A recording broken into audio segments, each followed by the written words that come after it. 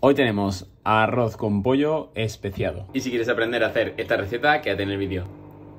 Mmm, muy bueno. Echamos pollo, una tarrina de queso fresco batido, pimentón de la vera dulce, un poquito de pimienta, una pizca de sal, mezclamos y reservamos en la nevera un par de horas. A nuestra mezcla echamos un poquito de salsa de soja. O echamos una cebolla y una zanahoria. Añadimos nuestra mezcla de pollo con el yogur y mezclamos todo. Dejamos que se vaya cocinando el pollo. arroz cocido le echamos un poquito de cilantro por encima. A nuestro pollo le echamos el arroz cocido y mezclamos todo bien. Emplatamos.